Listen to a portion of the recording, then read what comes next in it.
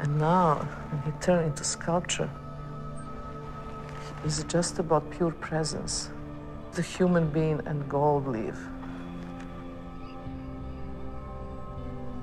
The gold is like a life material because it's so fragile and it's trembling and it's breathing like a wind.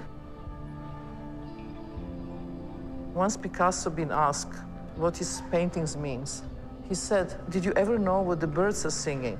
And you don't, but you listen them anyway. So sometimes for the art is important just to look. Okay, you just see how it looks like if you really touch your hand. You just put the hands on the stomach. You just